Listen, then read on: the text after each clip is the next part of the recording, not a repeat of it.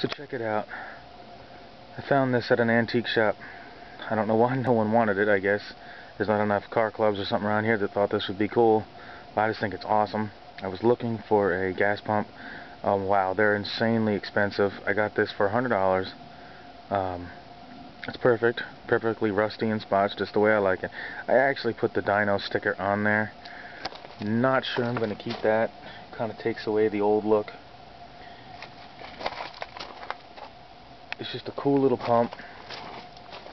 I love cars. Uh, I love rust, as you can see. There's our car club.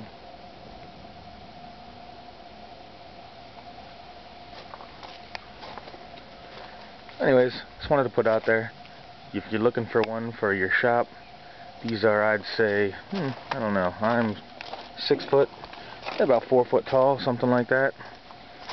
Perfect. They don't take up a ton of space. They look cool. I was almost thinking of putting the Fuel Junkies logo on there instead of uh, the dyno sticker. Either way, inexpensive, looks cool. Doesn't look cool. Gotta get rid of those. Move them in the back. Alright guys, have a great day.